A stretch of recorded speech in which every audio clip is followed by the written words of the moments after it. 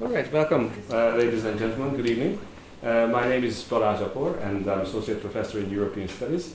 And I would like to welcome you all uh, in my capacity as Director of the Trinity Center for Resistance Studies. And I would also like to welcome you all on behalf of the Trinity Long Room Hub, which provided a home for, for the center and which, of course, very generously supports uh, events uh, like uh, this.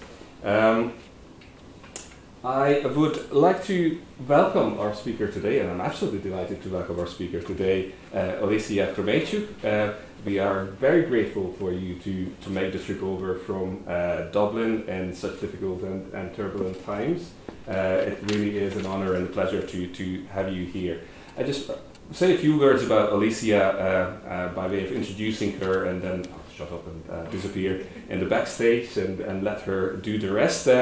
Um, there's a lot to uh, tell about her, but I won't uh, bore you with the details because uh, she has a very good website and you, will find everything, everything there. Uh, Olesya currently is the director of the Ukrainian uh, Institute in London since 2020. Uh, as far as I know, the Institute is a registered charity that organizes public facing events, I guess, like this, but also educational activities and uh, and um, I think there's language training involved right. as well, as far as I know. And history yeah. and culture and literature. There you go. So, so everything.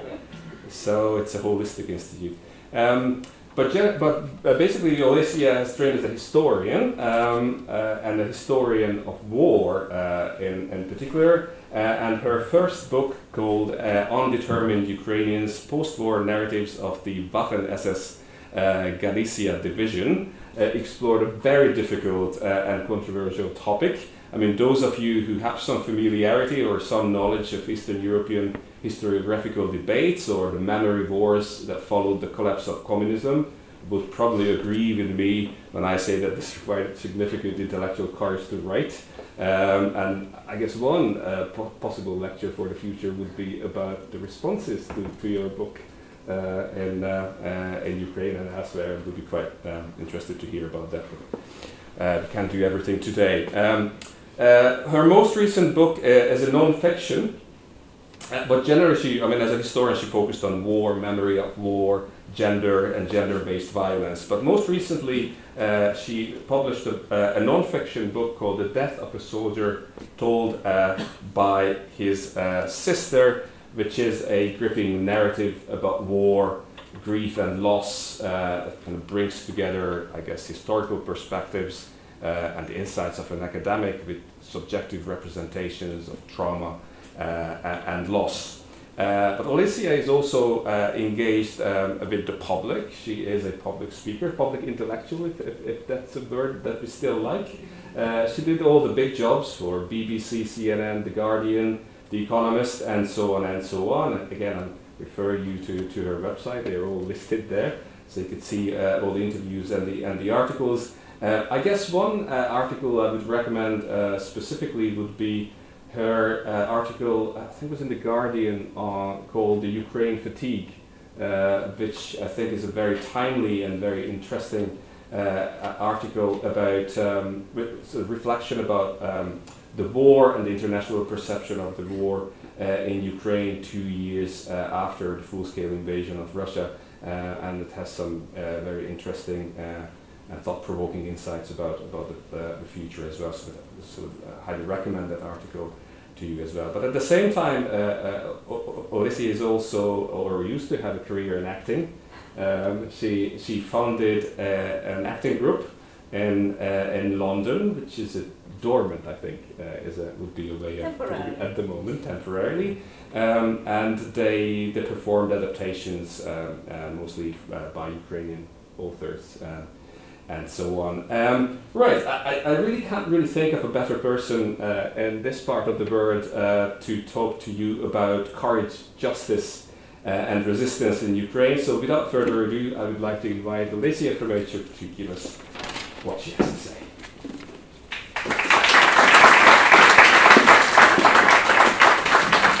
Thank you so much, Balazs. Thank you, Trinity College Dublin. Thank you, Centre for Resistance Studies. Thank you to all of you for coming here tonight to hear me speak, and thank you uh, first of all, for keeping Ukraine at the center of your attention. When it disappears from the headlines, it's tempting to think that the war is over. The war is far from being over, and it requires um, our joint effort to, to make sure that it does end in sustainable, lasting peace, not just in Ukraine, but for the rest of uh, Europe. And that is something that I'll be talking to you about today. Most of the thoughts that I'll share with you today uh, I've published in different publications already, so those of you who have read some of my work will recognize some of what I'm talking about, but the good news is um, what I'm saying tonight is uh, in its unedited version before the editors had their say in what should or shouldn't be printed. Um, I'd like to treat this talk as an invitation for an open and honest discussion. Um, honesty and responsibility are not as highly featured in scholarly work as balance and objectivity. Uh, and I think that's a pity. I think that it is something that we should be embracing as scholars and also something we should be teaching to our students, especially if we want to truly uh, reform, uh, decolonize, de-imperialize uh, our field and uh, stop multiplying misconceptions that we've had to deal with um, up until now. Okay. Like a pretty young woman who gets murdered at the start of a crime novel, Ukraine became an object of interest because of an act of aggression directed against it. It has gained visibility around the globe because Russia has tried to render it invisible. Being seen, however, is not the same as being understood. To truly understand Ukraine, we need to listen to Ukrainians talk about themselves in their own words and on their own terms. We need to trust them with the knowledge of themselves and question our own, often imperialist, perceptions of the world. After all, it is the habit of listening to the great power that has made us preoccupied with the perpetrator when we should be focusing on the nations that it attacks. It has led us to mistake Russia for the country that we wish it to be rather than the one that it really is, and pushed us to direct our energies towards ensuring Russia's survival rather than planning for its demise. Almost every time I'm invited to speak about Ukraine, I hope it's not going to be the case tonight, I notice an unfailing pattern of discussion. Sooner or later, usually sooner, someone asks me about Russia. Why is the Russian army performing so poorly, rather than why the Ukrainian army has been performing so well against all odds? What will it take for Russian society to take to the streets and protest, rather than what has made Ukrainians so intolerant of authoritarianism and determined to fight against it? What will happen to the Russian language now that even Russophone Ukrainians refuse to speak it, rather than how it was possible that the Ukrainian language managed to survive and even thrive in spite of centuries of Russification? And finally, will the post-Putin leadership, whatever that might be, save Russia, rather than what we can all do to make sure that Ukraine is saved from this and future genocidal attacks? This lack of understanding of Ukraine's subjectivity, its history and vision of the future meant that at least, at least until February 2022, for much of the world, Ukraine was not a country, but a territory. A land that could be fought over, divided, and controlled by others. A buffer zone. Buffer zones, in our imagination, don't have clear identities. We don't sympathize with the people who inhabit them in the same way as we do with places that come to mean something to us through knowledge that we acquire about them. In other words, it's easy to turn a buffer zone into a war zone. And this perception of the country outside of Ukraine has frequently been shaped through the eyes of Moscow and found especially fertile ground in those cultures that themselves had an imperial past and thus gave credibility to another empire more willingly than to the subaltern. It penetrated the media, the political sphere, and academia, and this had real life consequences. The way Ukraine is written about, thought of, taught is the way it will be imagined and understood by the political elites, journalists, diplomats, the army, and others who communicate their knowledge to the general population. Two years into the full scale war, and 10 years since Russia started its aggression against Ukraine, you'd think our understanding of the country would be different. It has certainly improved, that is true, but we still have a very long way to go. There's still a gaping hole in university curricula when it comes to the study of Ukraine.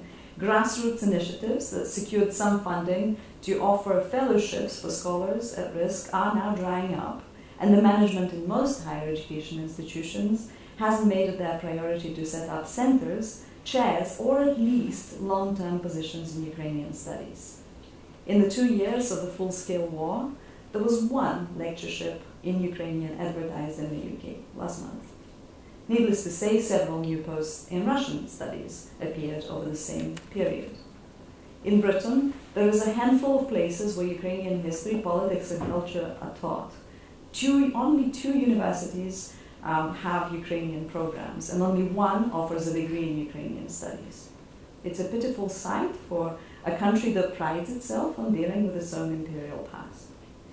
Failing to shift our focus from an imperial center to the region that it oppressed will hinder our efforts to decolonize our knowledge. Do you know which author I reread after the 24th of February 2022? I hear a man ask a question in a way that implies that he anticipates being praised for his choice. I have a feeling that I won't like the answer, so I don't say anything in response. Dostoevsky, says the man who specializes in European culture. I'm still silent. He didn't get the expected gratification, so he goes on to explain his decision. I needed to understand the Russian society, how they came to wage such a war, he adds. And what Ukrainian author did you read to understand why Ukrainians are resisting so? I ask in return. It's his turn to be silent. The misunderstanding of Ukraine and the lack of critical assessment of Russia has played a crucial role in the unfolding of this war. Russia's cultivation of its image abroad, attained through soft power, disinformation, and the manipulation of individuals and institutions via bribes and blackmail, has secured the enduring admiration of the West for the so called Great Russian culture. As a result, it succeeded in overshadowing the voices that would offer a different perception of the region. We have primarily gained our understanding of East Central Europe, of Central Asia, and North Caucasus from the perspectives provided by Moscow. In other words, we've given heed to the oppressor instead of seeking out the perspectives of the oppressed. Russia enjoyed authority, credibility, and impunity over the years it's been waging the war in Ukraine it benefited from the crimes that it committed. In the meantime, the voices on the receiving end of the cultural, economic, and finally military violence that it inflicted were largely dismissed to the point that Ukraine was predicted to fall in three days when Russia started its full scale invasion. Now, two years on, Ukraine continues to stand strong, but it also continues to be mistrusted, especially when it comes to its view of what constitutes victory. The less we trust it with its experience, needs, and choices, the more we contribute to the prolongation of the war. We must stop treating Ukraine as a buffer zone. We also need to remember that it is more than a war zone. It has become a war zone precisely because it was invisible to the rest of the world for so long and pushed to the margins of our imagination. How can it be reimagined as it is fighting for its survival? We need to develop a language that is rooted in the experience of oppression and can thus speak authoritatively about its emancipatory fight. And more importantly, we need to ensure that this voice, which isn't immediately recognized as authoritative, authoritative because it does not, is not produced by the imperial center and brings from the margins, instead is trusted with its experience. There is a growing body of English language literature on Ukraine and Russia's war against it. Frequently, it is written by those with established profiles in the global north. While expert voices that are not rooted in Ukraine can certainly be of great value, not least because of the distance that they enjoy, um, and, and, it brings a different perspective, it should be our priority to amplify the ones that speak from inside the country. Yet, even when it comes to Ukrainian voices, that are deemed authoritative, they often belong to great men, such as President Volodymyr Zelensky and army generals. Their words have proved to be effective in making the invisible visible. However, we must now seek out narratives that can make the visible understood. And these narratives are likely to challenge our preconceived ideas of Ukraine, and by doing so, add a layer of knowledge that is vital if we want to go beyond the headlines. So, in the remaining time of my talk, I'd like to share three stories of Ukrainian women, and I hope their voices can help us gain a more in depth view of what Ukraine is now. Natalia. I asked the receptionist at the Lviv hotel I was staying in if she had any sellotape I could borrow. I had an important package to deliver, and it was crucial for it to be well wrapped.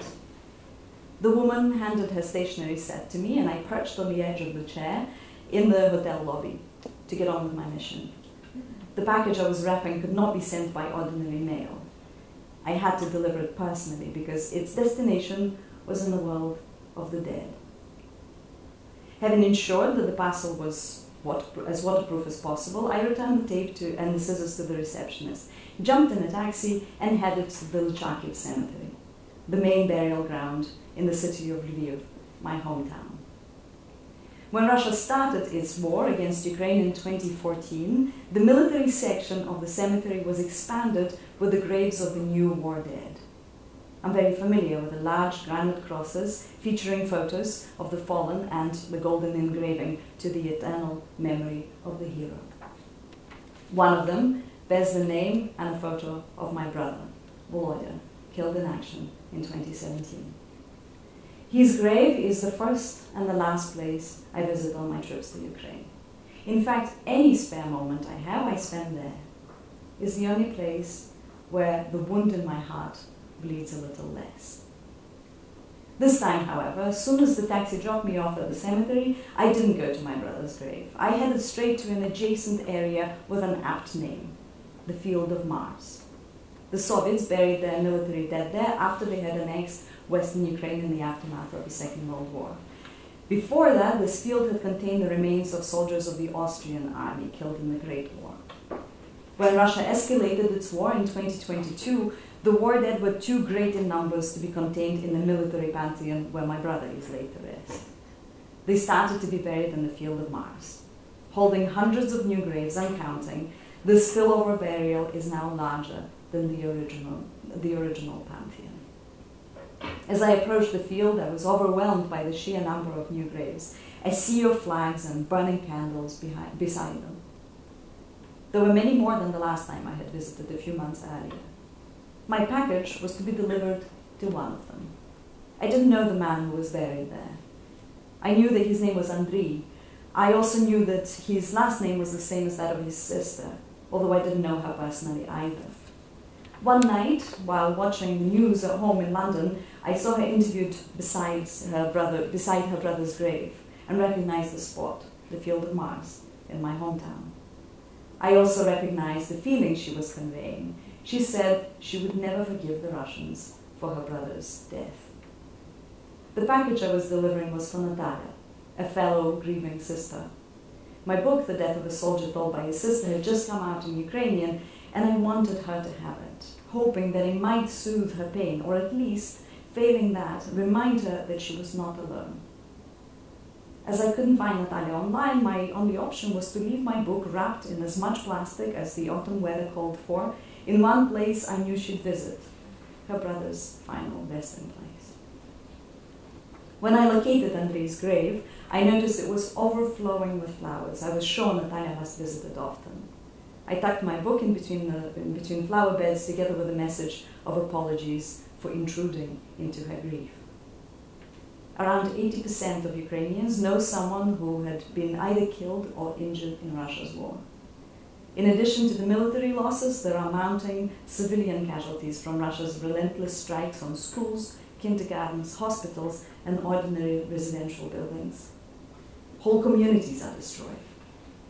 Mariupol, Bakhmut, Popasna, Rubizhne, Avdiivka, these are all ghost, all ghost towns. Almost 4 million individuals are internally displaced, and another 6 million Ukrainians have sought refuge globally. Many have lost con contact with their loved ones. PTSD and other types of trauma are widespread and will pose a cha challenge not only for war veterans, but for the whole of society. Ukraine is a country that is drowning in grief. But the grief only fuels the fight. Ukrainians are not protected by defensive alliances um, other than those that they create themselves. The Ukrainian armed forces are an embodiment of an alliance between society and the military. The army relies on the hard work of a vast volunteer movement to fill the gaps in procurement. Friends and families of those who serve regularly raise funds for various items, ranging from drones to first aid kits. The army also relies on civilians for its recruits. Therefore, a military death often means the killing of someone who was a, uh, who was a civilian only yesterday. High losses in the army mean that more civilians will have to take up arms tomorrow. The Ukrainian armed forces are a citizen army. A large proportion of it consists of people from all walks of lives of life who either voluntarily joined or were drafted for service during the different waves of mobilization since 2014 and especially after February 2022. These men and women took up arms not out of professional choice, but out of sheer necessity. They gave up their civilian lives to protect the lives of their loved ones and to ensure that Ukrainians could choose the democratic future they had been building and not the one an authoritarian occupier wishes to impose on them. In the interview Natalia gave beside her brother's grave, she said that she had tried to prevent him from joining up, but he had insisted on fighting. She tried to protect him from death. Instead, he died while protecting his country. I don't know if Natalia found my book. If she did, I can only hope that it provided some solace to her. Andriana. Mom, remember when we were a family and when we loved each other? Andriana Arekhta, a special unit sergeant in the Ukrainian Armed Forces, relays a conversation she had with her son. Interviewed for a BBC documentary, she is struggling to hold back her tears. It's been months since she held her little boy. At the time of the interview, Andriana was convalescing in a military hospital following severe injuries sustained in action. Her unit did not have an armored vehicle and was relying on a civilian car sourced by the volunteers. So when it drove over a landmine near Kherson in 2022, she didn't have the protection an armored vehicle would provide and was lucky to have survived the blast. Andriana is well known in Ukraine as one of the founders of the women's veteran movement. She has been demonized in Russia as a Nazi executioner, a World War II term used by the Soviets to describe the Nazi death squads. I know Andriana as a shy but utterly determined woman. I met her in 2018 when she came to the UK to promote Invisible Battalion, a documentary film about the lives of women on the front lines. During this period, many around the globe succumbed to the Kremlin propaganda about the so-called internal conflict in eastern Ukraine and chose to regard Russia as a mediator for peace rather than the perpetrator of war. The servicewomen therefore had to do some basic explaining about the war, its origins, and its likely escalation before they were able to talk about the gendered nature of their service. Andriana was a perfect ambassador for this purpose. She joined the volunteer battalion straight after the Maidan protests in 2014, when it turned out that it wasn't enough to defend democracy on the barricades. It had to also be defended on the battlefield. She served as a shock trooper, but was formally registered as a seamstress. The paternalistic legacy of the Soviet labor law prevented women from accessing a vast majority of army occupations. However, the need for all professions at the front was immense, and so the women were placed in those jobs that needed to be done, even if on paper their involvement was limited to the rear. Invisible Battalion grew into a powerful advocacy campaign spearheaded by a group of women veterans and feminist scholars. They assessed the precarious position of women in the armed forces and lobbied for the law to be amended. The result was astonishing. Not only was the law revised, the efforts, the activists, um, the efforts of the activists also drew attention to the gendered perception of service in Ukraine. In the early years of the war, media coverage seemed to oscillate between sensationalizing women who followed their men to the trenches and demonizing the ones who should have known that war was not a place for women. Invisible Battalion activists challenged this misperception and insisted on judging women in the military by their accomplishments rather than their gender. Through their efforts, they succeeded in gradually altering both media depictions and societal attitudes towards servicewomen. Andriana was among those active in the campaign. While fighting against obstacles that prevented her and her fellow servicewomen from serving unhindered by structural and habitual discrimination, she realized, however, that her biggest adversary was the misogynistic enemy. Aware of the numerous accounts of torture and sexual violence against women in Russian captivity, Andriana chose her nom de guerre carefully.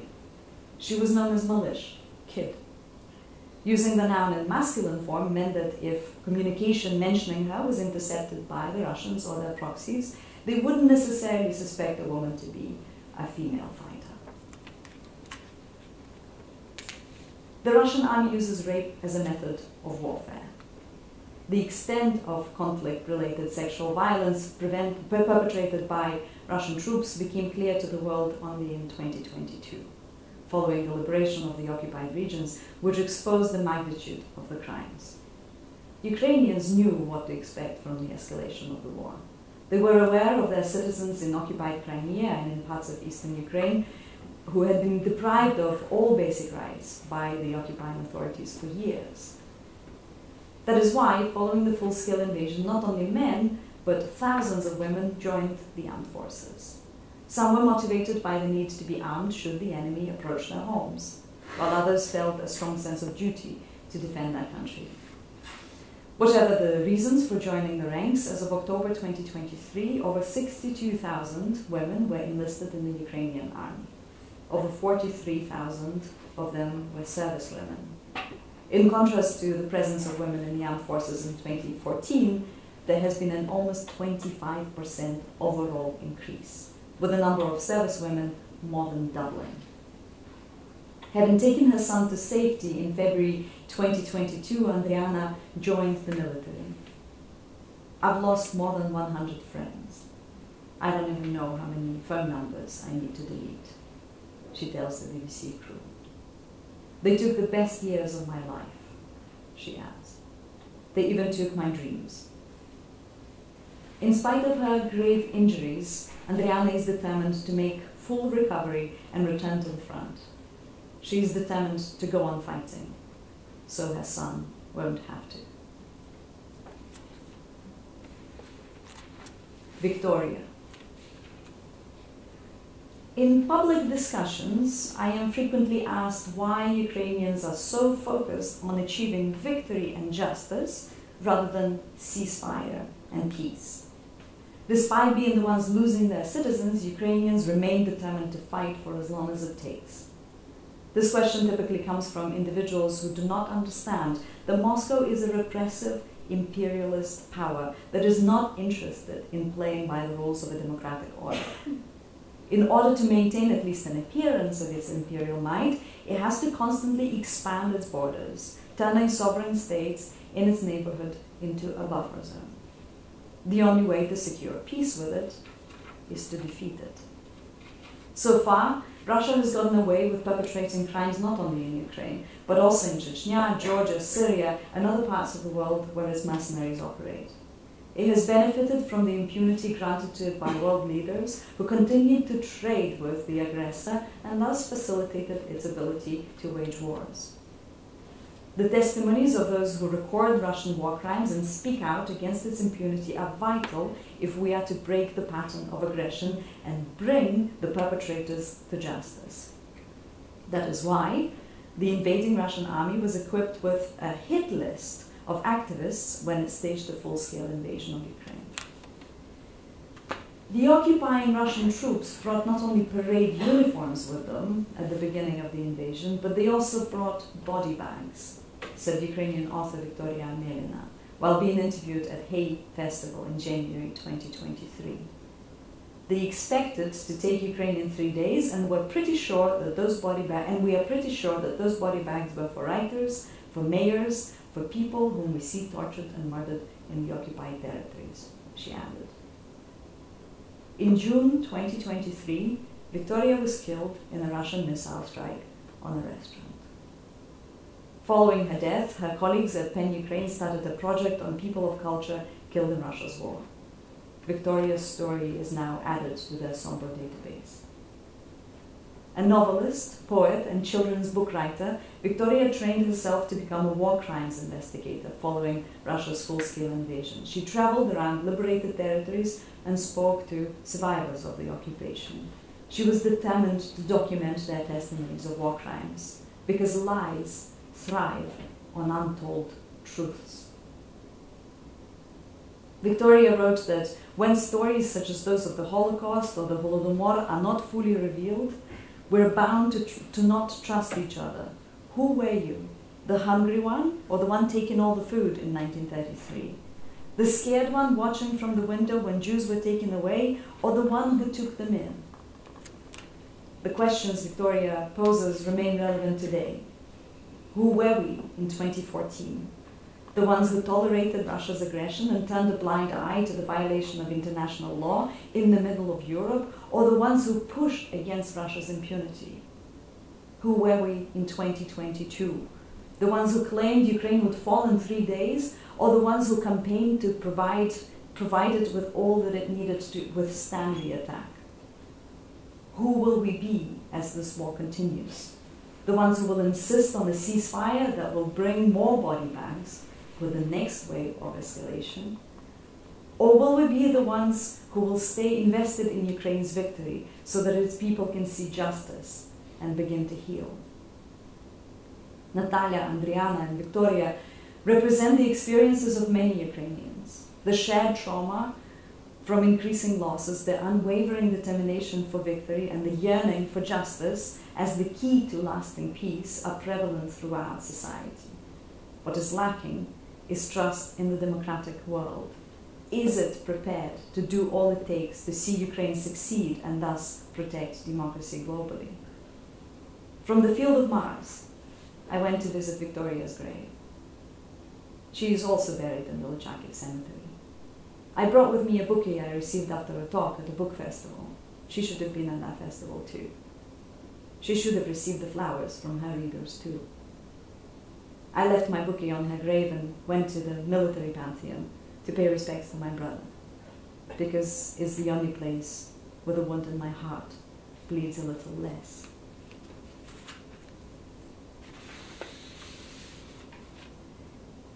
If you were 30% braver, what would you do to be a better ancestor? An enthusiastic facilitator posed this icebreaker question to a room full of con- conference delegates in, in New York. I'm not a big fan of such exercises. I do my thinking in silence and solitude, on my own terms and at my own pace. But the facilitator was determined to break the ice. Take 60 seconds to think and share your answers within your small groups. My small group consisted of democracy activists from different parts of the world. They were eager to discuss their opinions on courage and legacy. I'd spend more time with my kids, said one. I'd dedicate myself to the work I love rather than that which I must do, said another. I would speak to people I disagree with more often, said the man opposite me. That was a good one, I thought. After all, the theme of our conference was democracy. I kept quiet, hoping no one would notice. You're being quiet, said one of them when everyone else had spoken. They did notice. My small group turned their heads towards me with curiosity and anticipation. Oh, I don't know. It's a difficult question. I tried to get myself out of the trap. I need more time to think about it. The thing is, I didn't need any time to think about it. As soon as the facilitator finished that question, my answer was right there, staring me in the face. Now that my small group was staring at me just as insistently, I couldn't face sharing my answer, my thoughts with them. It seemed like I needed to be 30% braver just to utter the, the answer. If I were braver, to be a better ancestor, I'd join the army, the Ukrainian armed forces. At that moment, it was the only answer that rang true. My response was met with the sort of uncomfortable silence I seem to bring to most social conversations. A friend of mine, Sasha Dobrzyk, found a good term for that, a Ukrainian killjoy. It applies to those of us, I hear some laughter, some, some more Ukrainian killjoys in the audience, yes. It applies to those of us who keep talking about the war when people want to talk about their kids, about the future, and all those wonderful things that give us hope. Sometimes we don't even need to offer a digest of Russia's recent bombardments. We end conversations just by entering the room. When people think of Ukraine these days, they think of war, destruction, death, weapons, the need to produce and provide more weapons. Such thoughts bring little inspiration. And so, when asked about, to speak about, about Ukraine on international platforms, I am frequently encouraged to speak of peace, reconstruction, and reconciliation. A relentless fight with no end in sight is a conversation killer. It's also the reality in which most Ukrainians have been living since the start of the full scale invasion. Ukraine is a bleeding wound on the body of Europe. The international community has been complicit in this hemorrhage by tolerating the aggressor who inflicted the injury. As the wound extended for hundreds of miles and posed the risk of staining neighboring regions with its fresh, sticky blood, the world started slipping into denial of its existence instead of promptly applying the remedies necessary for healing. A perilous decision. The bleeding of one part will, inevit- will inevitably lead to the weakening of the whole. Ukraine was never given enough support to win. The assistance it received was vital to survive, crucial to keep going, necessary not to lose, but it wasn't sufficient to win.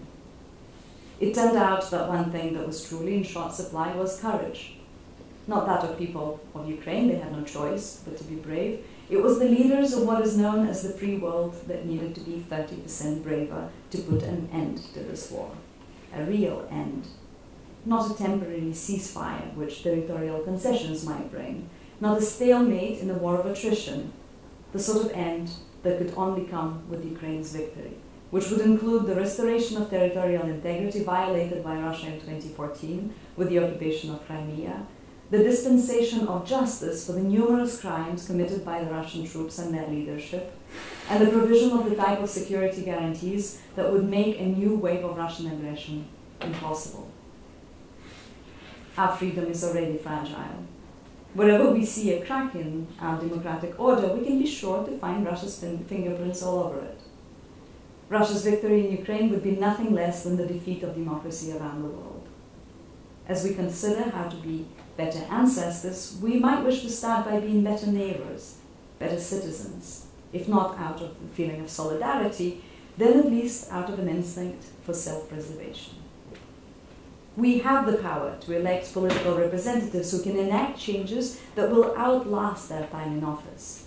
We need to support politicians who view Russia's war not as an inconvenience to their economies, but understand that tolerance of a warmongering state is what led us to the situation in the first place. We need to hold accountable those leaders who allowed Russia to enjoy impunity after 2014, who benefited from continued business with the aggressor country and thus contributed to the escalation in 2022. Crucially, we must wake up from the slumber of inaction.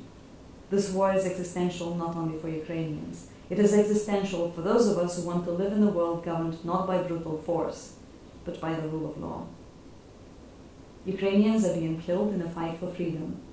We are witnessing their deaths. With every Ukrainian death, our own freedom diminishes. With every ruined Ukrainian city, our democracy gets chiseled away. We can stop this erosion by sending Ukraine the aid that it needs, the weapons, the air defense, and the support that its people have been asking from day one. If we don't win this fight for democracy in Ukraine, we'll end up fighting for it closer to home. Let us then do, do all in our, the, in our power to help Ukrainians win the fight not only for their freedom, but also ours. The current existential fight requires the mobilization of the whole of society, inside and outside the country, something Ukrainians have shown from the very early days of a full, uh, full-scale war. But the victory also requires international solidarity for our freedom and yours. I'd hate to see my adopted country's society or any other people around the world down their civilian tools because they feel that the only way for them left to protect their loved ones, their statehood, and their basic human rights was with weapons in their hands. The sooner my fellow West Europeans and the international community find the courage to support Ukraine's victory, the longer they'll be able to enjoy the privileges that civilian life has to offer. Ukrainians no longer have the privilege to choose whether to be 30% braver or not. That choice was taken away by Russia. They must be brave in order to survive. The rest of us still have that choice, and we had better make it soon. Thank you.